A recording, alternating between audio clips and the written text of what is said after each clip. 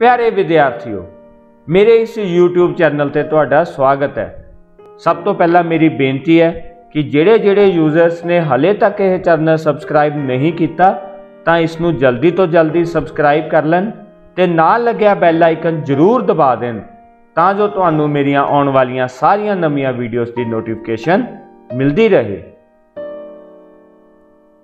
ਆਓ, ਸ਼ੁਰੂ ਕਰਦੇ ਹਾਂ। 8ਵੀਂ ਜਮਾਤ ਦਾ ਪਾਠ ਪਹਿਲਾ। ਟਾਈਪਿੰਗ ਟਿਊਟਰ ਦੇ ਅਭਿਆਸ ਪ੍ਰਸ਼ਨ। ਪਿਆਰੇ ਵਿਦਿਆਰਥੀਓ, ਮੇਰੀ ਬੇਨਤੀ ਹੈ, ਇਸ ਪਾਠ ਸੰਬੰਧੀ ਐਕਸਪਲੇਨੇਸ਼ਨ ਵੀਡੀਓ ਪਹਿਲਾਂ ਤੁਹਾਨੂੰ ਭੇਜੀ ਜਾ ਚੁੱਕੀ ਹੈ। ਤੇ ਜਿਹੜੇ ਜਿਹੜੇ ਸਟੂਡੈਂਟਸ ਨੇ ਹਲੇ ਤੱਕ ਉਹ ਵੀਡੀਓ ਨਹੀਂ ਦੇਖੀ, ਤਾਂ ਇਸ ਅਭਿਆਸ ਵਾਲੀ ਵੀਡੀਓ ਤੋਂ ਪਹਿਲਾਂ ਉਹ ਵੀਡੀਓ ਜ਼ਰੂਰ ਦੇਖ ਲੈਣ। ਤਾਂ ਇਹ ਅਭਿਆਸ ਨੂੰ ਹੱਲ ਕਰਨ ਵਾਲੀ ਜਿਹੜੀ ਇਹ ਵੀਡੀਓ ਹੈ, ਇਹ ਤੁਹਾਡੇ ਲਈ ਜ਼ਿਆਦਾ ਪ੍ਰਭਾਵਸ਼ਾਲੀ ਹੋ ਸਕੇ। ਆਓ, ਸ਼ੁਰੂ ਕਰਦੇ ਹਾਂ। ਟਾਈਪਿੰਗ ਟਿਊਟਰ ਦੇ ਅਭਿਆਸ ਪ੍ਰਸ਼ਨ। ਅਭਿਆਸ ਦੇ ਵਿੱਚ ਸਭ ਤੋਂ ਪਹਿਲਾਂ ਨੇ ਬਹੁ ਵਿਕਲਪੀ ਪ੍ਰਸ਼ਨ। ਪਹਿਲਾ ਹੈ ਡੈਸ਼ ਫੌਂਟ ਦੀ ਵਰਤੋਂ ਪੰਜਾਬੀ ਵਿੱਚ ਟਾਈਪ ਕਰਨ ਲਈ ਕੀਤੀ ਜਾਂਦੀ ਹੈ। ਦੇਖੋ ਅਸੀਂ ਪੰਜਾਬੀ ਦੇ ਵਿੱਚ ਟਾਈਪਿੰਗ ਕਰਨ ਬਾਰੇ ਐਕਸਪਲੇਨੇਸ਼ਨ ਵੀਡੀਓ 'ਚ ਬਹੁਤ ਵਧੀਆ ਤਰੀਕੇ ਨਾਲ ਪੜ੍ਹ ਕੇ ਚੁੱਕੇ ਹਾਂ ਤੇ ਅਸੀਂ ਬਹੁਤ ਸਾਰੇ ਫੌਂਟਸ ਬਾਰੇ ਵੀ ਡਿਸਕਸ ਕੀਤੀ ਹੈ। ਤਾਂ ਇਹਨਾਂ ਵਿੱਚੋਂ ਤੁਸੀਂ ਪੰਜਾਬੀ 'ਚ ਟਾਈਪਿੰਗ ਕਰਨ ਲਈ ਕਿਹੜੇ ਫੌਂਟ ਦੀ ਵਰਤੋਂ ਕਰ ਕਰ ਸਕਦੇ ਹੋ? ਦੇਖੋ, ਅਨਮੋਲ ਲਿਪੀ, ਰਾਵੀ, ਜੋਏ, ਇਹ ਸਾਰੇ ਫੌਂਟ ਜਿਹੜੇ ਪੰਜਾਬੀ 'ਚ ਟਾਈਪਿੰਗ ਕਰਨ ਲਈ ਵਰਤੇ ਜਾਂਦੇ ਨੇ। ਤਾਂ ਨੋ ਡਾਊਟ ਇਸ ਦਾ ਉੱਤਰ ਕੀ ਹੋਣਾ ਚਾਹੀਦਾ ਹੈ? ਕਮੈਂਟ ਵਿੱਚ ਲਿਖੋ। ਵੈਰੀ ਗੁੱਡ ਇਸ ਦਾ ਉੱਤਰ ਹੈ ਉਪਰੋਕਤ ਸਾਰੇ। ਯੂਨੀਕੋਡ ਦਾ ਪੂਰਾ ਨਾਂ ਕੀ ਹੈ? ਤਾਂ ਅਸੀਂ ਪੜ੍ਹ ਕੇ ਹਟਿਆ ਕਿ ਯੂਨੀਕੋਡ ਇੱਕ ਯੂਨੀਵਰਸਲ ਸਟੈਂਡਰਡ ਕੋਡ ਹੁੰਦਾ ਹੈ, ਜੋ ਕਿ ਕਿਸੇ ਭਾਸ਼ਾ ਨੂੰ ਵਿਸ਼ਵ ਪੱਧਰ ਤੇ ਦਰਸਾਉਣ ਲਈ ਵਰਤਿਆ ਜਾਂਦਾ। ਤਾਂ ਯੂਨੀਕੋਡ ਦਾ ਪੂਰਾ ਨਾਂ ਕੀ ਹੈ? ਗ੍ਰੇਟ ਇਸ ਦਾ ਉੱਤਰ ਹੈ ਯੂਨੀਵਰਸਲ ਕੋਡ। ਹੇਠ ਲਿਖਿਆਂ ਵਿੱਚੋਂ ਕਿਹੜਾ ਯੂਨੀਕੋਡ ਫੌਂਟ ਪੰਜਾਬੀ ਵਿੱਚ ਟਾਈਪਿੰਗ ਕਰਨ ਲਈ ਵਰਤਿਆ ਜਾਂਦਾ ਹੈ? ਅਸੀਂ ਦੋਨੋਂ ਕਿਸਮ ਦੇ ਫੌਂਟ ਫੋਨੈਟਿਕ ਅਤੇ ਯੂਨੀਕੋਡ। ਅਸੀਂ ਐਕਸਪਲੇਨੇਸ਼ਨ ਚ ਪੜ੍ਹ ਕੇ ਹਟਿਆ, ਤਾਂ ਅਨਮੋਲ ਲਿਪੀ, ਰਾਵੀ, ਅਸੀਸ ਤੇ ਉਪਰੋਕਤ ਸਾਰੇ ਸਾਰੇ ਫੌਂਟ ਤਾਂ ਹੈਗੇ ਨੇ, ਪਰੰਤੂ ਯੂਨੀਕੋਡ ਫੌਂਟ ਕਿਹੜਾ ਹੈ? ਜਿਹੜਾ ਅਨਮੋਲ ਲਿਪੀ ਹੈ, ਇਹ ਫੋਨੈਟਿਕ ਹੈ। ਪਰੰਤੂ ਰਾਵੀ ਫੌਂਟ ਹੈ ਜਿਹੜਾ, ਇਹ ਕਿਹੜਾ ਫੌਂਟ ਹੈ? ਗੁੱਡ ਰਾਵੀ ਫੌਂਟ ਹੈ ਜਿਹੜਾ, ਇਹ ਕਿਹੜਾ ਫੌਂਟ ਹੈ? ਯੂਨੀਕੋਡ ਫੌਂਟ ਹੇਠ ਲਿਖਿਆਂ ਵਿੱਚੋਂ ਕਿਹੜਾ ਫੋਨੈਟਿਕ ਫੌਂਟ ਪੰਜਾਬੀ ਵਿੱਚ ਟਾਈਪਿੰਗ ਕਰਨ ਲਈ ਵਰਤਿਆ ਜਾਂਦਾ ਹੈ? ਹੁਣ ਫੋਨੈਟਿਕ ਇਹਨਾਂ ਚੋਂ ਇੱਕੋ ਹੀ ਫੌਂਟ ਆ। ਉਹ ਕਿਹੜਾ ਫੌਂਟ ਆ? ਵੈਰੀ ਗੁੱਡ ਅਨਮੋਲ ਲਿਪੀ। ਇਹ ਫੋਨੈਟਿਕ ਫੌਂਟ ਹੈ ਜਿਹੜਾ ਪੰਜਾਬੀ ਵਿੱਚ ਟਾਈਪਿੰਗ ਕਰਨ ਲਈ ਵਰਤਿਆ ਜਾਂਦਾ। ਰਾਵੀ ਯੂਨੀਕੋਡ ਆ, ਅਸੀਂ ਪੜ੍ਹ ਕੇ ਹਟਿਆ। ਨੰਬਰ ਪੈਡ ਦੀ ਵਰਤੋਂ ਲਈ ਡੈਸ਼ ਕੀ ਔਨ ਹੋਣੀ ਚਾਹੀਦੀ ਹੈ? ਆਪਾਂ ਐਕਸਪਲੇਨੇਸ਼ਨ 'ਚ ਪੜ੍ਹ ਕੇ ਹਟਿਆ। ਕਿ ਸਾਡੇ ਕੀਬੋਰਡ ਦੇ ਸੱਜੇ ਹੱਥ ਬਣਿਆ ਜਿਹੜਾ ਨੁਮੈਰਿਕ ਪੈਡ ਹੁੰਦਾ, ਜੇ ਉਹ ਕੰਮ ਨਹੀਂ ਕਰ ਰਿਹਾ, ਜਾਂ ਉਹਦੇ ਉੱਤੇ ਜਿਹੜੇ ਅਲਟਰਨੇਟ ਕੰਮ ਲਿਖੇ ਹੋਏ ਨੇ, ਉਹ ਕੰਮ ਕਰ ਰਹੇ ਨੇ, ਤਾਂ ਸਾਨੂੰ ਨੁਮੈਰਿਕ ਕੀਜ਼ ਵਰਤਣੀਆਂ ਨੇ, ਕੀ ਔਨ ਕਰਨਾ ਪਵੇਗਾ? ਵੈਰੀ ਗੁੱਡ ਤਾਂ ਸਾਨੂੰ ਨਮ ਲੌਕ ਹੈ ਜਿਹੜਾ ਉਹ ਔਨ ਕਰਨਾ ਪਵੇਗਾ। ਤੇ ਜਦੋਂ ਨਮ ਲੌਕ ਔਨ ਹੁੰਦਾ ਹੈ, ਤਾਂ ਕੀਬੋਰਡ ਉੱਤੇ ਲੱਗੀ ਨਮ ਲੌਕ ਨਾਮ ਦੀ ਜਿਹੜੀ ਲਾਈਟ ਹੈ ਉਹ ਗ੍ਰੀਨ ਹੁੰਦੀ ਹੈ, ਮਤਲਬ ਇੰਡੀਕੇਸ਼ਨ ਦਿੰਦੀ ਹੈ ਕਿ ਨਮ ਲੌਕ ਔਨ ਹੈ। ਤੇ ਜਿਹੜੀ ਨਮ ਲੌਕ ਕੀ ਹੁੰਦੀ ਹੈ ਇਹ ਟੌਗਲ ਕੀ ਹੁੰਦੀ ਹੈ ਮਤਲਬ ਇੱਕ ਵਾਰ ਔਨ ਹੁੰਦਾ, ਇੱਕ ਵਾਰ ਆਫ ਹੁਣ ਬਹੁ ਵਿਕਲਪੀ ਪ੍ਰਸ਼ਨਾਂ ਤੋਂ ਬਾਅਦ ਨੇ, ਸਹੀ ਜਾਂ ਗਲਤ? ਆਓ ਹੱਲ ਕਰਦੇ ਹਾਂ। ਸਭ ਤੋਂ ਪਹਿਲਾ ਹੈ ਟਾਈਪਿੰਗ ਕਰਨ ਲਈ ਕੀਬੋਰਡ ਨੂੰ ਦੋ ਹਿੱਸਿਆਂ ਵਿੱਚ ਵੰਡਿਆ ਜਾਂਦਾ ਹੈ, ਇੱਕ ਖੱਬੇ ਹੱਥ ਲਈ ਅਤੇ ਇੱਕ ਸੱਜੇ ਹੱਥ ਲਈ। ਵੈਰੀ ਗੁੱਡ ਸਹੀ। ਅਸੀਂ ਇਹ ਡਿਸਕਸ ਕਰਕੇ ਹਟਿਆ ਕਿ ਅਸੀਂ ਆਪਣੇ ਕੀਬੋਰਡ ਨੂੰ ਦੋ ਵੱਖ-ਵੱਖ ਭਾਗਾਂ 'ਚ ਵੰਡ ਲੈਂਦੇ ਹਾਂ। ਤਾਂ ਜੋ ਜਦੋਂ ਅਸੀਂ ਟਾਈਪਿੰਗ ਕਰੀਏ, ਸਾਡੇ ਹੱਥ ਦੀਆਂ ਉਂਗਲੀਆਂ ਆਪਸ ਵਿੱਚ ਟਕਰਾਉਣ ਨਾ ਤੇ ਅਸੀਂ ਬਿਲਕੁਲ ਸਹੀ ਤਰੀਕੇ ਨਾਲ ਟਾਈਪਿੰਗ ਕਰੀਏ। ਨੈਕਸਟ ਹੈ ਟੱਚ ਟਾਈਪਿੰਗ ਇੱਕ ਅਜਿਹੀ ਤਕਨੀਕ ਹੈ, ਜਿਸ ਰਾਹੀਂ ਅਸੀਂ ਕੀਬੋਰਡ ਨੂੰ ਦੇਖਦੇ ਹੋਏ ਤੇਜ਼ ਰਫ਼ਤਾਰ ਨਾਲ ਟਾਈਪਿੰਗ ਕਰਨੀ ਸਿੱਖਦੇ ਹਾਂ। ਵੈਰੀ ਗੁੱਡ ਇਹ ਗਲਤ ਹੈ, ਕਿਉਂਕਿ ਟੱਚ ਟਾਈਪਿੰਗ ਹੈ, ਬਿਨਾ ਕੀਬੋਰਡ ਨੂੰ ਦੇਖੇ ਤੱਕ ਟਾਈਪ ਕਰਨ ਦੀ ਤਕਨੀਕ। ਪਰੰਤੂ ਇਸਨੇ ਕਿਹਾ ਕੀਬੋਰਡ ਨੂੰ ਦੇਖਦੇ ਹੋਏ ਇਸ ਕਾਰਨ ਇਹ ਜਿਹੜਾ ਸਹੀ ਗਲਤ ਹੈ, ਇਹ ਗਲਤ ਹੈ। ਨੈਕਸਟ ਹੈ, ਅਨਮੋਲ ਲਿਪੀ ਫੌਂਟ ਸਾਨੂੰ ਪੰਜਾਬੀ ਵਿੱਚ ਟਾਈਪ ਕਰਨ ਵਿੱਚ ਮਦਦ ਕਰਦਾ ਹੈ। ਬਿਲਕੁਲ ਠੀਕ ਹੈ, ਅਸੀਂ ਪੜ੍ਹ ਕੇ ਹਟਿਆ, ਅਨਮੋਲ ਲਿਪੀ ਫੋਨੈਟਿਕ ਫੌਂਟ ਹੈ, ਜਿਹਦੇ ਵਿੱਚ ਅਸੀਂ ਪੰਜਾਬੀ ਦੇ ਵਿੱਚ ਟਾਈਪਿੰਗ ਕਰ ਸਕਦੇ ਹਾਂ। ਤਾਂ ਇਸ ਦਾ ਉੱਤਰ ਕੀ ਹੋਏਗਾ? ਸਹੀ। ਸਪੇਸ ਬਾਰ ਕੀ ਦਬਾਉਣ ਲਈ ਅਸੀਂ ਛੋਟੀ ਉਂਗਲ ਦੀ ਵਰਤੋਂ ਕਰਦੇ ਹਾਂ। ਜਦੋਂ ਅਸੀਂ ਸਪੇਸ ਬਾਰ ਬਾਰੇ ਵਿਸ਼ੇਸ਼ ਤੌਰ ਤੇ ਪੜ੍ਹਿਆ ਸੀ, ਤਾਂ ਉਦੋਂ ਦੱਸਿਆ ਸੀ ਆਪਾਂ ਵੀ ਸਪੇਸ ਬਾਰ ਕਿਹੜੀ ਕੀ ਨਾਲ ਪ੍ਰੈਸ ਹੁੰਦੀ ਆ? ਵੈਰੀ ਗੁੱਡ ਅੰਗੂਠੇ ਨਾਲ। ਤਾਂ ਇਹਨੇ ਲਿਖਿਆ, ਛੋਟੀ ਉਂਗਲ ਦੀ ਵਰਤੋਂ ਕਰਦੇ ਹਾਂ। ਤਾਂ ਇਹ ਕੀ ਹੈ? ਗੁੱਡ ਇਹ ਹੈ ਗਲਤ। ਨੈਕਸਟ ਹੈ ਸ਼ਿਫਟ ਕੀ ਦੀ ਵਰਤੋਂ? ਅਗਲੀ ਲਾਈਨ ਤੇ ਜਾਣ ਲਈ ਕੀਤੀ ਜਾਂਦੀ ਹੈ।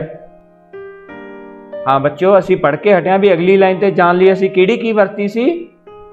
ਜੀ ਐਂਟਰ ਕੀ ਪਰੰਤੂ ਸ਼ਿਫਟ ਕੀ ਨਾਲ ਤਾਂ ਅਸੀਂ ਕੈਪੀਟਲ ਲੈਟਰ ਜਾਂ ਜਿਹੜੇ ਅਲਟਰਨੇਟ ਲੈਟਰ ਨੇ, ਉਹ ਟਾਈਪ ਕੀਤੇ ਸੀ। ਤਾਂ ਇਸ ਕਰਕੇ ਇਹ ਜਿਹੜਾ ਠੀਕ ਗਲਤ ਹੈ, ਇਹ ਗਲਤ ਹੈ। ਬਹੁਤ ਵਧੀਆ ਵਿਦਿਆਰਥੀਓ, ਇਸ ਦਾ ਮਤਲਬ ਤੁਸੀਂ ਐਕਸਪਲੇਨੇਸ਼ਨ ਵਾਲੀ ਵੀਡੀਓ ਬਹੁਤ ਵਧੀਆ ਤਰੀਕੇ ਨਾਲ ਦੇਖੀ ਹੈ। ਤੇ ਫਿਰ ਵੀ ਜੇ ਤੁਹਾਨੂੰ ਇਹ ਕੁਐਸਚਨ ਜਿਹੜੇ ਐਕਸਰਸਾਈਜ਼ ਦੇ ਨੇ ਔਖੇ ਲੱਗ ਰਹੇ ਨੇ, ਤਾਂ ਤੁਸੀਂ ਐਕਸਪਲੇਨੇਸ਼ਨ ਵਾਲੀ ਵੀਡੀਓ ਇੱਕ ਵਾਰ ਦੁਬਾਰਾ ਦੇਖ ਲਓ। ਫਿਰ ਤੁਸੀਂ ਇਹ ਪੂਰਾ ਅਭਿਆਸ ਜ਼ਿਆਦਾ ਰੋਚਕ ਤਰੀਕੇ ਨਾਲ ਹੱਲ ਕਰ ਸਕੋਗੇ। ਇਸ ਤੋਂ ਬਾਅਦ ਨੇ ਛੋਟੇ ਉੱਤਰਾਂ ਵਾਲੇ ਪ੍ਰਸ਼ਨ, ਇਹ ਸਾਰੇ ਪ੍ਰਸ਼ਨ ਤੁਹਾਡੀ ਪਾਠ ਪੁਸਤਕ ਦੇ ਪਾਠਕ੍ਰਮ ਤੋਂ ਲਏ ਗਏ ਨੇ ਤੇ ਇਹ ਤੁਹਾਡੀ ਐਕਸਰਸਾਈਜ਼ ਦੇ ਚਾਰ ਕੁਐਸਚਨਸ ਨੇ। ਆਓ, ਆਪਾਂ ਇਹਨਾਂ ਚੋਂ ਕੱਲੇ-ਕੱਲੇ ਬਾਰੇ ਜਿਹੜੀ ਡਿਟੇਲ ਹੈ, ਉਹ ਪੜ੍ਹਦੇ ਹਾਂ। ਸਭ ਤੋਂ ਪਹਿਲਾ ਛੋਟਾ ਪ੍ਰਸ਼ਨ ਹੈ ਟੱਚ ਟਾਈਪਿੰਗ ਕੀ ਹੈ? ਅਸੀਂ ਇਹ ਡਿਸਕਸ ਕਰ ਚੁੱਕੇ ਹਾਂ ਕਿ ਟੱਚ ਟਾਈਪਿੰਗ ਬਿਨਾ ਕੀਬੋਰਡ ਨੂੰ ਦੇਖੇ ਟਾਈਪਿੰਗ ਕਰਨ ਦੀ ਪ੍ਰਕਿਰਿਆ, ਜਿਹਦੇ ਵਿੱਚ ਅਸੀਂ ਕਦਮ ਦਰ ਕਦਮ ਜਿਹੜੀ ਟਾਈਪਿੰਗ ਕਰਨਾ ਸਿੱਖਦੇ ਹਾਂ ਤੇ ਅਸੀਂ ਸਪੀਡ ਤੇ ਟਾਈਪਿੰਗ ਕਰਨ ਵਿੱਚ ਮਹਾਰਤ ਹਾਸਲ ਕਰ ਲੈਂਦੇ ਹਾਂ। ਟੱਚ ਟਾਈਪਿੰਗ ਇੱਕ ਤਕਨੀਕ ਹੈ, ਜਿਸ ਵਿੱਚ ਅਸੀਂ ਕੀਬੋਰਡ ਨੂੰ ਦੇਖੇ ਬਿਨਾ ਸਾਰੀਆਂ ਉਂਗਲਾਂ ਨਾਲ ਕਦਮ ਦਰ ਕਦਮ ਟਾਈਪਿੰਗ ਕਰਨਾ ਸਿੱਖ ਸਕਦੇ ਹਾਂ। ਜੇਕਰ ਅਸੀਂ ਟਾਈਪਿੰਗ ਕਰਨ ਸਮੇਂ ਕੀਬੋਰਡ ਉੱਪਰ ਕੀਜ਼ ਲੱਭਦੇ ਰਹਾਂਗੇ, ਤਾਂ ਨਤੀਜੇ ਵਜੋਂ ਸਾਡੀ ਟਾਈਪਿੰਗ ਸਪੀਡ ਬਹੁਤ ਹੌਲੀ ਹੋ ਜਾਵੇਗੀ। ਜਦੋਂ ਅਸੀਂ ਟੱਚ ਟਾਈਪਿੰਗ ਸਿੱਖਣੀ ਸ਼ੁਰੂ ਕਰਦੇ ਹਾਂ, ਹੋ ਸਕਦਾ ਵੀ ਸ਼ੁਰੂਆਤੀ 5-4 ਦਿਨਾਂ ਦੇ ਵਿੱਚ ਸਾਡੀ ਸਪੀਡ ਬਹੁਤ ਸਲੋ ਹੋਵੇ ਤੇ ਅਸੀਂ ਇਹਨੂੰ ਔਖਾ ਵੀ ਲੱਗੇ ਸਾਨੂੰ। ਕਿਉਂਕਿ ਜਦੋਂ ਅਸੀਂ ਬਿਨਾਂ ਦੇਖੇ ਟਾਈਪਿੰਗ ਕਰਨ ਦੀ ਪ੍ਰੈਕਟਿਸ ਸ਼ੁਰੂ ਕਰਾਂਗੇ ਸ਼ੁਰੂ ਸ਼ੁਰੂ ਸਾਨੂੰ ਕੀਬੋਰਡ ਦੇਖਣਾ ਪਊਗਾ, ਪਰੰਤੂ ਅਸੀਂ ਕੋਸ਼ਿਸ਼ ਕਰਾਂਗੇ ਕਿ ਅਸੀਂ ਨਾ ਦੇਖੀਏ, ਅਸੀਂ ਕੀਜ਼ ਯਾਦ ਰੱਖੀਏ। ਤਾਂ ਸਾਨੂੰ ਸ਼ੁਰੂ ਸ਼ੁਰੂ 'ਚ ਇਹ ਸਪੀਡ ਆ ਜਿਹੜੀ ਹੌਲੀ ਹੋ ਸਕਦੀ ਹੈ, ਪਰੰਤੂ ਟੱਚ ਟਾਈਪਿੰਗ ਵਿੱਚ ਸਪੀਡ ਵਧਣ ਦੀ ਜਿਹੜੀ ਰਫ਼ਤਾਰ ਹੈ, ਉਹ ਹਮੇਸ਼ਾ ਤੇਜ਼ ਰਹੇਗੀ ਤੇ ਅਸੀਂ ਬਹੁਤ ਜਲਦੀ ਟਾਈਪਿੰਗ ਦੇ ਵਿੱਚ ਮਹਾਰਤ ਹਾਸਲ ਕਰ ਲਵਾਂਗੇ। ਪੰਜਾਬੀ ਵਿੱਚ ਟਾਈਪਿੰਗ ਲਈ ਕਿਹੜੇ ਵੱਖ-ਵੱਖ ਕਿਸਮਾਂ ਦੇ ਫੌਂਟ ਦੀ ਵਰਤੋਂ ਕੀਤੀ ਜਾਂਦੀ ਹੈ? ਅਸੀਂ ਇਹ ਐਕਸਪਲੇਨੇਸ਼ਨ ਵਾਲੀ ਵੀਡੀਓ 'ਚ ਦੇਖ ਕੇ ਹਟਿਆ ਕਿ ਅਸੀਂ ਦੋ ਕਿਸਮਾਂ ਦੇ ਫੌਂਟ ਨੇ ਜਿਹੜੇ ਉਹ ਵਰਤਦੇ ਆ ਕਿਹੜੇ-ਕਿਹੜੇ ਆਓ ਪੜ੍ਹਦੇ ਆ ਪੰਜਾਬੀ ਵਿੱਚ ਟਾਈਪਿੰਗ ਕਰਨ ਲਈ ਵੱਖ-ਵੱਖ ਕਿਸਮਾਂ ਦੇ ਫੌਂਟ ਉਪਲਬਧ ਹਨ। ਪੰਜਾਬੀ ਟਾਈਪਿੰਗ ਲਈ ਆਮ ਵਰਤੇ ਜਾਂਦੇ ਫੌਂਟਸ ਨੂੰ ਦੋ ਮੁੱਖ ਕਿਸਮਾਂ ਵਿੱਚ ਵੰਡਿਆ ਜਾ ਸਕਦਾ ਹੈ। ਫੌਂਟ ਦੀਆਂ ਉਦਾਹਰਨਾਂ ਬਹੁਤ ਹੋ ਸਕਦੀਆਂ ਨੇ ਪਰੰਤੂ ਜੇ ਅਸੀਂ ਉਹਨਾਂ ਨੂੰ ਦੋ ਸ਼੍ਰੇਣੀਆਂ 'ਚ ਵੰਡਣਾ ਹੋਵੇ, ਤਾਂ ਉਹਦੀਆਂ ਸ਼੍ਰੇਣੀਆਂ ਇਸ ਤਰੀਕੇ ਨਾਲ ਨੇ।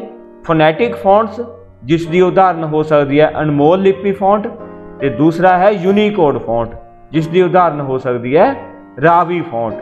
ਤਾਂ ਇਹ ਦੋਨਾਂ ਨੂੰ ਅਸੀਂ ਬਹੁਤ ਡਿਟੇਲ ਵਿੱਚ ਪੜ੍ਹ ਕੇ ਹਟਿਆ ਤੇ ਜੇ ਤੁਸੀਂ ਇਹਨਾਂ ਬਾਰੇ ਨਹੀਂ ਜਾਣਦੇ, ਤਾਂ ਐਕਸਪਲੇਨੇਸ਼ਨ ਵੀਡੀਓ ਦੇ ਵਿੱਚ ਇਸ ਬਾਰੇ ਜ਼ਰੂਰ ਕਲੀਅਰ ਕਰ ਲਿਓ, ਕਿਉਂਕਿ ਇਹ ਬਹੁਤ ਇੰਪੋਰਟੈਂਟ ਹੋਣ ਵਾਲਾ ਹੈ। ਪੰਜਾਬੀ ਭਾਸ਼ਾ ਵਿੱਚ ਟਾਈਪਿੰਗ ਕਿਵੇਂ ਕੀਤੀ ਜਾਂਦੀ ਹੈ? ਪੰਜਾਬੀ ਭਾਸ਼ਾ ਵਿੱਚ ਟਾਈਪਿੰਗ ਸ਼ੁਰੂ ਕਰਨ ਤੋਂ ਪਹਿਲਾਂ ਸਾਨੂੰ ਟੁਕਮੇ ਪੰਜਾਬੀ ਫੌਂਟ ਦੀ ਚੋਣ ਕਰਨੀ ਪੈਂਦੀ ਹੈ। ਮਤਲਬ ਸਾਨੂੰ ਦੇਖਣਾ ਪੈਂਦਾ ਵੀ ਅਸੀਂ ਕਿਹੜਾ ਫੌਂਟ ਵਰਤਾਂਗੇ। ਬਹੁਤ ਸਾਰੇ ਅਜਿਹੇ ਫੌਂਟ ਮੌਜੂਦ ਹਨ ਜੋ ਪੰਜਾਬੀ ਵਿੱਚ ਟਾਈਪਿੰਗ ਕਰਨ ਲਈ ਵਰਤੇ ਜਾਂਦੇ ਹਨ। ਪੰਜਾਬੀ ਵਿੱਚ ਟਾਈਪਿੰਗ ਕਰਨ ਲਈ ਅਨਮੋਲ ਲਿਪੀ ਫੌਂਟ ਸਭ ਤੋਂ ਆਸਾਨ ਫੌਂਟ ਹੈ, ਕਿਉਂਕਿ ਅਸੀਂ ਪੜ੍ਹ ਕੇ ਹਟਿਆ ਹੈ ਫੋਨੈਟਿਕ ਹੈ, ਜੋ ਕਿ ਇੱਕ ਫੋਨੈਟਿਕ ਫੌਂਟ ਹੈ। ਫੋਨੈਟਿਕ, ਜਿਹਦੇ ਵਿੱਚ ਜਿਹੜੇ ਅੱਖਰਾਂ ਦੀ ਮੈਪਿੰਗ ਹੈ, ਉਹ ਆਵਾਜ਼ ਦੇ ਅਕੋਰਡਿੰਗਲੀ ਹੈ। ਜਿਵੇਂ ਐਨ ਨਾਲ ਨੰਨਾ, ਐਲ ਨਾਲ ਲੱਲਾ, ਪੀ ਨਾਲ ਪੱਪਾ, ਏ ਨਾਲ ਆੜਾ ਜਾਂ ਊੜਾ, ਐਸ ਨਾਲ ਸੱਸਾ।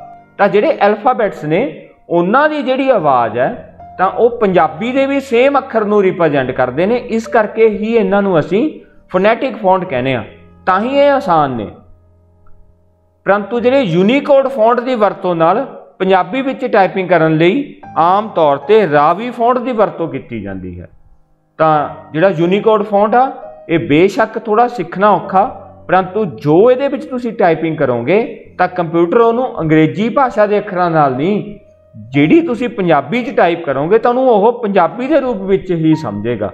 ਤੇ ਇਹਦੀਆਂ ਉਦਾਹਰਨਾਂ ਅਸੀਂ ਐਕਸਪਲੇਨੇਸ਼ਨ ਦੀ ਵੀਡੀਓ 'ਚ ਦੇ ਚੁੱਕੇ ਹਾਂ, ਤੇ ਇਹ ਤੁਸੀਂ ਜ਼ਰੂਰ ਇਹਨੂੰ, ਇਸ ਗੱਲ ਨੂੰ ਕਲੀਅਰ ਕਰ ਲਿਓ। ਜੇ ਤੁਹਾਨੂੰ ਫਿਰ ਵੀ ਕੋਈ ਡਾਊਟ ਆ, ਤਾਂ ਤੁਸੀਂ ਸਾਡੀ ਵੀਡੀਓ ਤੇ ਕਮੈਂਟ ਕਰਕੇ ਵੀ ਪੁੱਛ ਸਕਦੇ ਹੋ, ਜਾਂ ਤੁਸੀਂ ਆਪਣੇ ਕੰਪਿਊਟਰ ਟੀਚਰ ਨਾਲ ਇਸ ਬਾਰੇ ਜਿਹੜੀ ਡਿਸਕਸ਼ਨ ਹੈ, ਉਹ ਕਰ ਸਕਦੇ ਹੋ।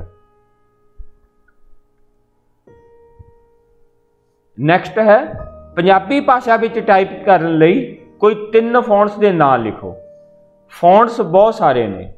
ਪੰਜਾਬੀ ਭਾਸ਼ਾ ਦੇ ਵਿੱਚ ਟਾਈਪਿੰਗ ਕਰਨ ਲਈ ਵੀ ਬਹੁਤ ਸਾਰੇ ਨੇ। ਅਸੀਂ ਕੋਈ ਵੀ ਤਿੰਨ ਫੌਂਟ ਦੇ ਨਾਮ ਲਿਖ ਸਕਦੇ ਹਾਂ। ਪਰੰਤੂ ਅਸੀਂ ਇਸ ਵੀਡੀਓ 'ਤੇ ਡਿਸਕਸ ਕੀਤੇ ਜਿਹੜੇ ਫੌਂਟਸ ਨੇ, ਉਹਦੇ ਕੁਝ ਨਾਮ ਲਿਖੇ ਨੇ, ਜਿਵੇਂ ਅਨਮੋਲ ਲਿਪੀ, ਰਾਵੀ, ਅਸੀਸ, ਜੋਏ, ਇਹਨਾਂ ਵਿੱਚੋਂ ਕੋਈ ਵੀ ਤਿੰਨ ਨਾਮ ਨੇ ਜਿਹੜੇ ਅਸੀਂ ਇਸ ਪ੍ਰਸ਼ਨ ਦੇ ਉੱਤਰ ਦੇ ਰੂਪ ਵਿੱਚ ਲਿਖ ਸਕਦੇ ਹਾਂ। ਪਿਆਰੇ ਵਿਦਿਆਰਥੀਓ, ਛੋਟੇ ਉੱਤਰਾਂ ਤੋਂ ਬਾਅਦ ਨੇ ਵੱਡੇ ਉੱਤਰਾਂ ਵਾਲੇ ਪ੍ਰਸ਼ਨ। ਅਸੀਂ ਟਾਈਪਿੰਗ ਸਪੀਡ ਨੂੰ ਕਿਵੇਂ ਵਧਾ ਸਕਦੇ ਹਾਂ? ਆਓ, ਅਸੀਂ ਇਹਨਾਂ ਦੇ ਉੱਤਰ ਵੀ ਪੜ੍ਹ ਲੈਂਦੇ ਹਾਂ। ਪ੍ਰਸ਼ਨ ਹੈ, ਅਸੀਂ ਟਾਈਪਿੰਗ ਸਪੀਡ ਨੂੰ ਕਿਵੇਂ ਵਧਾ ਸਕਦੇ ਹਾਂ? ਇਹਦਾ ਵਧੀਆ ਉੱਤਰ ਜੋ ਅਸੀਂ ਲਿਖ ਸਕਦੇ ਹਾਂ, ਜੋ ਅਸੀਂ ਪਹਿਲਾਂ ਹੀ ਡਿਸਕਸ ਕਰਕੇ ਚੁੱਕੇ ਹਾਂ, ਆਓ ਆਪਾਂ ਪੜ੍ਹਦੇ ਹਾਂ। ਟਾਈਪਿੰਗ ਸਪੀਡ ਨੂੰ ਵਧਾਉਣ ਲਈ ਕੁਝ ਸੁਝਾਅ ਹੇਠਾਂ ਦਿੱਤੇ ਗਏ ਹਨ। ਸਭ ਤੋਂ ਪਹਿਲਾ ਹੈ, ਸਾਡੇ ਹੱਥ ਜਾਂ ਉਂਗਲਾਂ ਦੀ ਸਥਿਤੀ ਹਮੇਸ਼ਾ ਹੋਮ ਰੋ ਉੱਤੇ ਹੋਣੀ ਚਾਹੀਦੀ ਹੈ। ਕਿਉਂਕਿ ਮੈਂ ਪਹਿਲਾਂ ਦੱਸਿਆ ਕਿ ਜਿਹੜੀ ਹੋਮ ਰੋ ਹੁੰਦੀ ਹੈ, ਇਹ ਐਲਫਾਬੈਟ ਕੀਜ਼ ਦੇ ਸੈਂਟਰ ਵਾਲੀ ਰੋ ਹੁੰਦੀ ਹੈ। ਤਾਂ ਅਸੀਂ ਉੱਪਰ ਜਾਂ ਨਿਚਲੀ ਰੋ ਦੇ ਉੱਪਰ ਪਹੁੰਚ ਆਸਾਨੀ ਨਾਲ ਕਰ ਸਕਦੇ ਹਾਂ। ਤਾਂ ਜਦੋਂ ਅਸੀਂ ਕੋਈ ਕੀ ਨਹੀਂ ਟਾਈਪ ਕਰ ਰਹੇ, ਤਾਂ ਸਾਡੇ ਹੱਥ ਦੀਆਂ ਜਿਹੜੀਆਂ ਉਂਗਲਾਂ ਦੀ ਸਥਿਤੀ ਹੈ, ਉਹਨੂੰ ਹੋਮ ਰੋ ਉੱਤੇ ਰੱਖੋ। ਸਾਨੂੰ ਹੋਮ ਰੋ ਪੋਜੀਸ਼ਨ ਤੋਂ ਹੋਰਨਾਂ ਰੋਜ਼ ਦੀਆਂ ਕੀਜ਼ ਤੱਕ ਪਹੁੰਚ ਕਰਨੀ ਚਾਹੀਦੀ ਹੈ। ਤੇ ਇਸ ਨਾਲ ਇਹ ਆਸਾਨ ਵੀ ਹੈ, ਜੇ ਸਾਡੀਆਂ ਉਂਗਲਾਂ ਹੋਮ ਰੋ ਤੇ ਨੇ, ਅਸੀਂ ਬਹੁਤ ਆਸਾਨੀ ਨਾਲ ਪਹੁੰਚ ਕਰ ਸਕਾਂਗੇ। ਸਾਨੂੰ ਆਪਣਾ ਜ਼ਿਆਦਾ ਧਿਆਨ ਰਫ਼ਤਾਰ ਨਾਲੋਂ ਸਹੀ ਕੀ ਦਬਾਉਣ ਉੱਤੇ ਰੱਖਣਾ ਚਾਹੀਦਾ ਹੈ। ਕਿਉਂਕਿ ਜਦੋਂ ਸਾਡੀਆਂ ਉਂਗਲਾਂ ਨੂੰ ਸਹੀ ਚੀਜ਼ ਯਾਦ ਹੋ ਜਾਣਗੀਆਂ, ਰਫ਼ਤਾਰ ਆਟੋਮੈਟਿਕਲੀ ਇਨਕਰੀਜ਼ ਹੋ ਜਾਣੀ ਹੈ ਵੱਧ ਜਾਣੀ ਹੈ ਟਾਈਪਿੰਗ ਕਰਦੇ ਸਮੇਂ ਕੀਬੋਰਡ ਉੱਪਰ ਨਾ ਦੇਖੋ। ਸ਼ੁਰੂਆਤ ਦੇ ਵਿੱਚ ਤੁਹਾਨੂੰ ਇਹ ਔਖਾ ਲੱਗ ਸਕਦਾ ਹੈ, ਪਰੰਤੂ ਜਦੋਂ ਸਾਨੂੰ ਟੱਚ ਟਾਈਪਿੰਗ ਮਤਲਬ ਬਿਨਾਂ ਦੇਖੇ ਟਾਈਪਿੰਗ ਕਰਨ ਦੀ ਆਦਤ ਪੈ ਗਈ ਤਾਂ ਉਸ ਤੋਂ ਬਾਅਦ ਸਾਡੀ ਜਿਹੜੀ ਸਪੀਡ ਆ ਬਹੁਤ ਤੇਜ਼ ਹੋਏਗੀ। ਤਾਂ ਤੁਸੀਂ ਸਟਾਰਟਿੰਗ ਤੋਂ ਹੀ ਇਹ ਚੀਜ਼ ਦੀ ਆਦਤ ਬਣਾਉਣੀ ਹੈ। ਕਿ ਅਸੀਂ ਟਾਈਪਿੰਗ ਕਰਦੇ ਸਮੇਂ ਕੀਬੋਰਡ ਦੇ ਉੱਪਰ ਨਹੀਂ ਦੇਖਣਾ। ਲਗਾਤਾਰ ਆਰਾਮ ਨਾਲ ਅਤੇ ਸਹੀ ਟਾਈਪਿੰਗ ਕਰਨ ਵੱਲ ਧਿਆਨ ਰੱਖੋ। ਮਤਲਬ, ਜਦੋਂ ਅਸੀਂ ਟਾਈਪਿੰਗ ਕਰਦੇ ਹਾਂ, ਪੂਰੀ ਕਨਸੈਂਟਰੇਸ਼ਨ ਨਾਲ, ਬਿਨਾਂ ਟੈਨਸ਼ਨ ਤੋਂ, ਸਹੀ ਪੋਸਚਰ 'ਚ ਬੈਠ ਕੇ ਆਪਣੀ ਟਾਈਪਿੰਗ ਵੱਲ ਧਿਆਨ ਰੱਖੋ। ਹਰ ਇੱਕ ਕੀ ਨੂੰ ਦਬਾਉਂਦੇ ਹੋਏ ਸਾਨੂੰ ਉਹ ਅੱਖਰ ਆਪਣੇ ਮਨ ਵਿੱਚ ਦੁਹਰਾਉਣਾ ਚਾਹੀਦਾ ਹੈ। ਕਿਉਂਕਿ ਜਿੰਨਾ ਚਿਰ ਸਾਨੂੰ ਪ੍ਰੈਕਟਿਸ ਨਹੀਂ ਹੁੰਦੀ ਤਾਂ ਸਾਨੂੰ ਇਹ ਥੋੜਾ ਧਿਆਨ ਰੱਖਣਾ ਪਊਗਾ ਕਿ ਕਿਹੜਾ ਅੱਖਰ ਕਿਹੜੇ ਹੱਥ ਦੀ ਕਿਹੜੀ ਕੀ ਨਾਲ, ਕਿਹੜੀ ਰੋ ਦੇ ਉੱਪਰ ਹੈ। ਤਾਂ ਜਦੋਂ ਅਸੀਂ ਟਾਈਪਿੰਗ ਕਰਨਾ, ਤਾਂ ਉਹ ਅੱਖਰ ਨੂੰ ਮਨ 'ਚ ਦੁਹਰਾਓ ਤੇ ਯਾਦ ਕਰੋ ਕਿ ਉਹ ਕਿਹੜੇ ਹੱਥ ਦੀ ਕਿਹੜੀ ਉਂਗਲ ਨਾਲ ਕਿਹੜੀ ਰੋ ਤੇ ਆ ਉਹ। ਤਾਂ ਜਦੋਂ ਸਾਨੂੰ ਐਦਾਂ ਦੀ ਪ੍ਰੈਕਟਿਸ ਹੋ ਜੂਗੀ, ਤਾਂ ਉਸ ਤੋਂ ਬਾਅਦ ਸਾਨੂੰ ਜ਼ਿਆਦਾ ਇਹ ਐਕਸਰਸਾਈਜ਼ ਦੀ ਲੋੜ ਨਹੀਂ ਪੈਣੀ। ਤੁਹਾਡਾ ਮਾਈਂਡ ਹੈ ਜਿਹੜਾ, ਉਹ ਆਟੋਮੈਟਿਕਲੀ ਤੁਹਾਡੀ ਜਿਹੜੀ ਪਾਰਟਿਕੂਲਰ ਫਿੰਗਰ ਹੈ, ਉਹਨੂੰ ਹਦਾਇਤ ਭੇਜੂਗਾ ਤੇ ਉਹੀ ਕੀ ਟਾਈਪ ਹੋਏਗੀ। ਅਗਲਾ ਪ੍ਰਸ਼ਨ ਹੈ ਟਾਈਪਿੰਗ ਕਰਦੇ ਸਮੇਂ ਬੈਠਣ ਦੇ ਸਹੀ ਤਰੀਕੇ ਸੰਬੰਧੀ ਕਿਹੜੀਆਂ-ਕਿਹੜੀਆਂ ਮਹੱਤਵਪੂਰਨ ਗੱਲਾਂ ਦਾ ਧਿਆਨ ਰੱਖਣਾ ਚਾਹੀਦਾ ਹੈ। ਪਿਆਰੇ ਬੱਚਿਓ ਟਾਈਪਿੰਗ ਕਰਦੇ ਸਮੇਂ ਬੈਠਣ ਦਾ ਤਰੀਕਾ ਬਹੁਤ ਇੰਪੋਰਟੈਂਟ ਹੈ। ਇਸ ਦੇ ਨਾਲ ਟਾਈਪਿੰਗ ਕਰਨ 'ਚ ਤਾਂ ਦਿੱਕਤ ਹੁੰਦੀ ਹੀ ਹੈ। ਬੱਚਿਆਂ ਨੂੰ ਸਰੀਰਕ ਨੁਕਸਾਨ ਵੀ ਹੁੰਦਾ ਜਦੋਂ ਅਸੀਂ ਲੰਬੇ ਸਮੇਂ ਲਈ ਗਲਤ ਪੋਸਚਰ 'ਚ ਬੈਠ ਕੇ ਟਾਈਪ ਕਰਾਂਗੇ। ਤਾਂ ਇਸ ਕਰਕੇ ਟਾਈਪਿੰਗ ਕਰਦੇ ਸਮੇਂ ਬਾਕੀ ਗੱਲਾਂ ਦੇ ਨਾਲ-ਨਾਲ ਬੈਠਣ ਦੇ ਤਰੀਕੇ ਵੱਲ ਵਿਸ਼ੇਸ਼ ਧਿਆਨ ਰੱਖਣਾ ਚਾਹੀਦਾ ਹੈ। ਆਓ ਆਪਾਂ ਉਹ ਨੁਕਤੇ ਦੇਖਦੇ ਹਾਂ ਜਿਨ੍ਹਾਂ ਦਾ ਸਪੈਸ਼ਲ ਧਿਆਨ ਰੱਖਣਾ ਚਾਹੀਦਾ।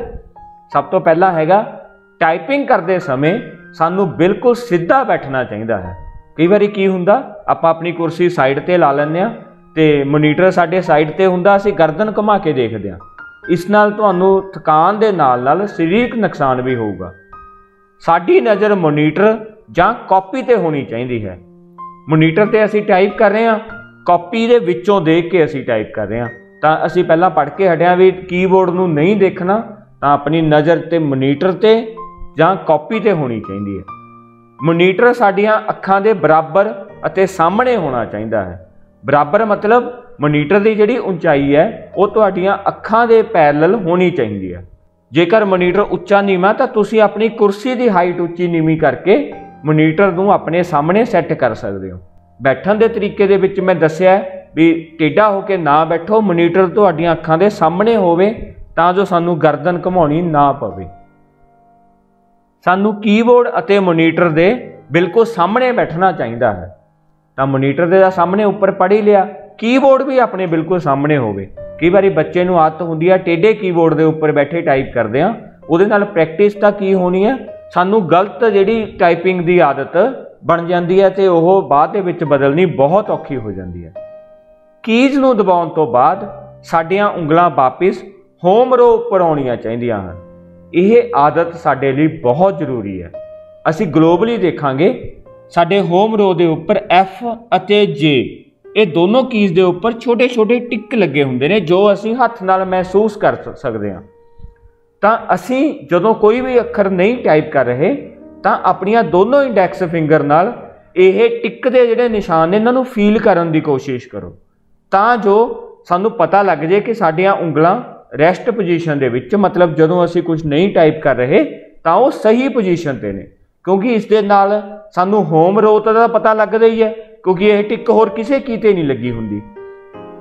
ਇਹ ਵੀ ਪਤਾ ਲੱਗਦਾ ਹੈ ਕਿ ਸਾਡੇ ਹੱਥ ਖੱਬੇ ਅਤੇ ਸੱਜੇ ਵੀ ਆਪਣੀ ਜਗ੍ਹਾ ਤੇ ਬਿਲਕੁਲ ਸਹੀ ਨੇ, ਆਪਣੀਆਂ ਇੰਡੈਕਸ ਫਿੰਗਰ ਉਸੇ ਕੀ ਦੇ ਉੱਪਰ ਨੇ ਜਿੱਥੇ ਹੋਣੀਆਂ ਚਾਹੀਦੀਆਂ ਨੇ।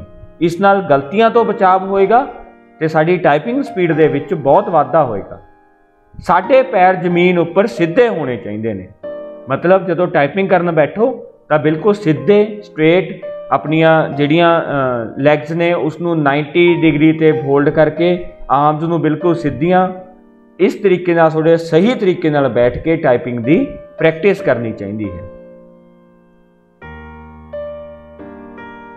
ਬੱਚਿਓ, ਇਹ ਹੈ ਤੁਹਾਡੇ ਯੂਨੀਕੋਡ ਫੌਂਟ ਰਾਵੀ ਦਾ ਕੀ ਮੈਪ ਕੀ ਮੈਪ ਮਤਲਬ ਕਿਹੜੇ ਅਲਫਾਬੈਟ ਨਾਲ ਕਿਹੜਾ ਅੱਖਰ ਪੈਣਾ ਹੈ?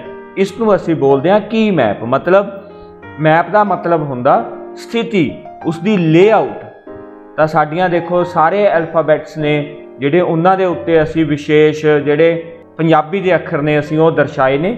ਤਾਂ ਇਹ ਕੀਪੈਡ ਬਹੁਤ ਇੰਪੋਰਟੈਂਟ ਹੈ। ਜਦੋਂ ਅਸੀਂ ਟਾਈਪਿੰਗ ਕਰਦੇ ਆ ਤਾਂ ਪਹਿਲਾਂ ਇਹ ਕੀਪੈਡ ਨੂੰ ਆਪਣੇ ਸਾਹਮਣੇ ਰੱਖੋ। ਤਾਂ ਜੋ ਤੁਹਾਨੂੰ ਇਹ ਜਿਹੜੇ ਸਥਿਤੀ ਹੈ, ਤੁਹਾਨੂੰ ਯਾਦ ਹੋ ਸਕੇ ਪ੍ਰੈਕਟਿਸ ਕਰ ਸਕੋ। ਜਦੋਂ ਸਾਨੂੰ ਇੱਕ ਵਾਰ ਪ੍ਰੈਕਟਿਸ ਹੋ ਜਾਂਦੀ ਹੈ, ਉਸ ਤੋਂ ਬਾਅਦ ਅਸੀਂ ਆਸਾਨੀ ਨਾਲ ਟਾਈਪ ਕਰਨਾ ਸਟਾਰਟ ਕਰ ਦਿੰਦੇ ਹਾਂ। ਉਦਾਂ ਹੀ ਪਹਿਲਾਂ ਅਸੀਂ ਰਾਵੀ ਦੇਖ ਕੇ ਹਟਿਆ ਜੋ ਯੂਨੀਕੋਡ ਫੌਂਟ ਸੀ, ਹੁਣ ਅਸੀਂ ਅਨਮੋਲ ਲਿਪੀ ਦਾ ਫੋਨੈਟਿਕ ਫੌਂਟ ਹੈ ਜਿਹੜਾ, ਉਹਦਾ ਕੀ ਮੈਪ ਦੇਖ ਰਹੇ ਹਾਂ। ਤੇ ਇਹ ਜਿਹੜਾ ਕੀ ਮੈਪ ਹੈ, ਬਹੁਤ ਆਸਾਨ ਹੈ। ਰਾਵੀ ਫੌਂਟ ਤੋਂ ਬਹੁਤ ਆਸਾਨ ਹੈ, ਕਿਉਂਕਿ ਇਹ ਫੋਨੈਟਿਕ ਹੈ। ਫੋਨੈਟਿਕ ਮਤਲਬ ਇਸ ਦੇ ਵਿੱਚ ਜੋ ਆਵਾਜ਼ ਐਲਫਾਬੈਟਸ ਦਿੰਦੇ ਨੇ, ਉਹੀ ਆਵਾਜ਼ ਪੰਜਾਬੀ ਦੇ ਅੱਖਰ ਦੀ ਮੈਪ ਕੀਤੀ ਹੋਈ ਹੈ। ਜਿਵੇਂ ਏ ਨਾਲ ਆੜਾ ਜਾਂ ਊੜਾ ਐਸ ਨਾਲ ਸੱਸਾ ਡੀ ਨਾਲ ਦੱਦਾ ਜੀ ਨਾਲ ਗੱਗਾ ਐਲ ਨਾਲ ਲੱਲਾ ਕੇ ਨਾਲ ਕੱਕਾ ਐਮ ਨਾਲ ਮੰਮਾ ਐਨ ਨਾਲ ਨੰਨਾ। ਇਸ ਦਾ ਮਤਲਬ ਕੀ ਬਣਿਆ? ਤਾਂ ਸਾਰੇ ਅਲਫਾਬੈਟ ਦੀ ਜਿਹੜੀ ਆਵਾਜ਼ ਹੈ, ਉਹ ਪੰਜਾਬੀ ਦੇ ਜਿਹੜੇ ਨਿਰਧਾਰਿਤ ਅੱਖਰ ਨੇ, ਉਸੇ ਦੇ ਨਾਲ ਹੀ ਮੈਪ ਕੀਤੀ ਹੋਈ ਹੈ। ਇਹਨਾਂ ਨਾਲ ਸਾਨੂੰ ਸਿੱਖਣ 'ਚ ਆਸਾਨੀ ਹੁੰਦੀ ਹੈ। ਤਾਂ ਸ਼ੁਰੂਆਤੀ ਦੌਰ 'ਚ ਅਸੀਂ ਅਨਮੋਲ ਲਿਪੀ ਨੂੰ ਪ੍ਰੈਫਰੈਂਸ ਦਿੰਦੇ ਆ ਪਰੰਤੂ ਜਿਹੜੇ ਟੈਸਟ ਨੇ ਜਾਂ ਜ਼ਿਆਦਾ ਗੁਣਵੱਤਾ ਵਾਲਾ ਜਿਹੜਾ ਕੋਡ ਆ, ਉਹ ਯੂਨੀਕੋਡ ਫੌਂਟ ਆ, ਉਹ ਜਦੋਂ ਅਸੀਂ ਮਹਾਰਤ ਹਾਸਲ ਕਰ ਲੈਂਦੇ ਆ ਫਿਰ ਅਸੀਂ ਅਸੀਂ ਯੂਨੀਕੋਡ ਫੌਂਟ ਨੂੰ ਪ੍ਰੈਫਰੈਂਸ ਦਿੰਦੇ ਆ ਪਿਆਰੇ ਵਿਦਿਆਰਥੀਓ, ਇਹ ਸੀ ਤੁਹਾਡਾ 8ਵੀਂ ਜਮਾਤ ਦਾ ਪਾਠ, ਪਹਿਲੇ ਦਾ ਅਭਿਆਸ। ਤੇ ਮੈਨੂੰ ਉਮੀਦ ਹੈ ਕਿ ਹੁਣ ਤੁਸੀਂ ਪਹਿਲਾ ਪਾਠ ਪੂਰੀ ਤਰ੍ਹਾਂ ਸਮਝ ਚੁੱਕੇ ਹੋਵੋਗੇ। ਤੁਸੀਂ ਇਸ ਪਾਠ ਦੀਆਂ ਦੋਨੋਂ ਵੀਡੀਓਜ਼ ਐਕਸਪਲੇਨੇਸ਼ਨ ਵਾਲੀ ਤੇ ਅਭਿਆਸ ਹੱਲ ਕਰਨ ਵਾਲੀ ਦੋਨੋਂ ਦੇਖ ਚੁੱਕੇ ਹੋ ਤੇ ਇਸ ਪਾਠ ਦੇ ਵਿੱਚ ਤੁਸੀਂ ਪੂਰੀ ਤਰ੍ਹਾਂ ਨਿਪੁੰਨ ਹੋ ਚੁੱਕੇ ਹੋ। ਤੇ ਜੇ ਤੁਹਾਨੂੰ ਕੋਈ ਵੀ ਹਜੇ ਤੱਕ ਡਾਊਟ ਆ, ਤਾਂ ਤੁਸੀਂ ਇਹ ਦੋਨੋਂ ਵੀਡੀਓਜ਼ ਦੁਬਾਰਾ ਦੇਖ ਸਕਦੇ ਹੋ, ਤਾਂ ਆਪਣੇ ਜਿਹੜੇ ਡਾਊਟਸ ਨੇ ਉਹ ਕਲੀਅਰ ਕਰ ਸਕਦੇ ਹੋ। ਤੇ ਅੰਤ ਤੇ ਮੇਰੀ ਫੇਰ ਬੇਨਤੀ ਹੈ ਕਿ ਜੇਕਰ ਤੁਸੀਂ ਅਜੇ ਤੱਕ ਸਾਡੇ ਇਸ YouTube ਚੈਨਲ ਨੂੰ ਲਾਈਕ ਅਤੇ ਸਬਸਕ੍ਰਾਈਬ ਨਹੀਂ ਕੀਤਾ ਤਾਂ ਕਿਰਪਾ ਕਰਕੇ ਇਸ ਨੂੰ ਜਲਦੀ ਤੋਂ ਜਲਦੀ ਲਾਈਕ ਅਤੇ ਸਬਸਕ੍ਰਾਈਬ ਕਰੋ ਅਤੇ ਬੈਲ ਆਈਕਨ ਨੂੰ ਪ੍ਰੈਸ ਕਰਨਾ ਨਾ ਭੁੱਲੋ ਤਾਂ ਕਿ ਤੁਹਾਨੂੰ ਸਾਡੀਆਂ ਆਉਣ ਵਾਲੀਆਂ ਸਾਰੀਆਂ ਨਵੀਆਂ ਵੀਡੀਓਜ਼ ਦੀ ਨੋਟੀਫਿਕੇਸ਼ਨ ਮਿਲਦੀ ਰਹੇ। ਕਮੈਂਟ ਸੈਕਸ਼ਨ ਵਿੱਚ ਜਰੂਰ ਦੱਸੋ ਕਿ ਤੁਹਾਨੂੰ ਸਾਡੀ ਇਹ ਵੀਡੀਓ ਕਿਵੇਂ ਲੱਗੀ। ਧੰਨਵਾਦ ਜੀ।